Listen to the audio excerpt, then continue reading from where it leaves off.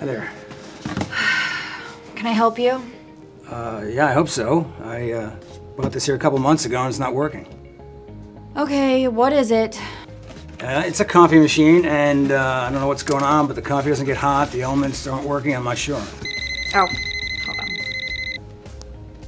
Hey! oh, yeah. Yeah. Uh huh. Okay, yeah, party this Saturday. Sounds good. Oh, I'm gonna wear that cute little sequin dress I just bought. hmm I got it on sale. It was so cute. Okay.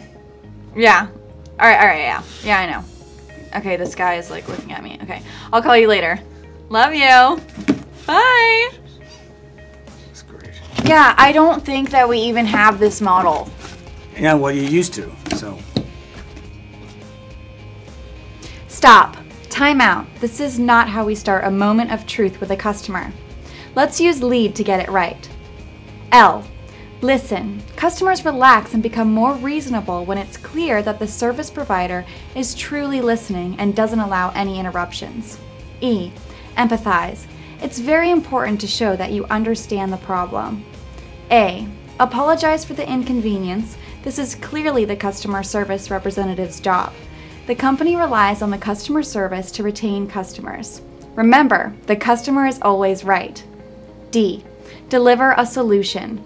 At the end of the day, loyalty to a product and company advances when an acceptable solution is delivered.